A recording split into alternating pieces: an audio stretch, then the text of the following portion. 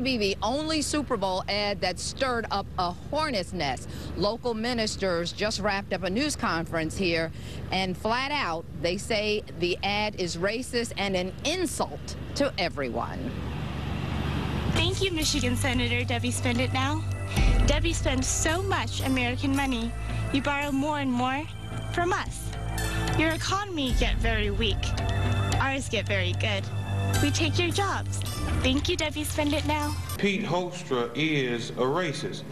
And the reason why I say that is because he uses these, he uses the young lady, he uses the Asian community as an opportunity to play into the fears of those across the state of Michigan who may be hurting because they have no job.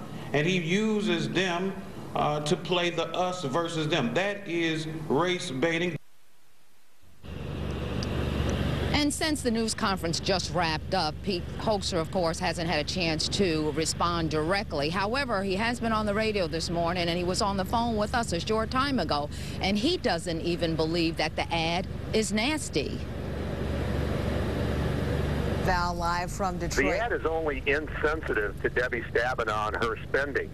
You know, the ad clearly lays out that the Chinese benefit from the recklessness of U.S. spending and U.S. economic policy. I don't see anything nasty in this ad at all.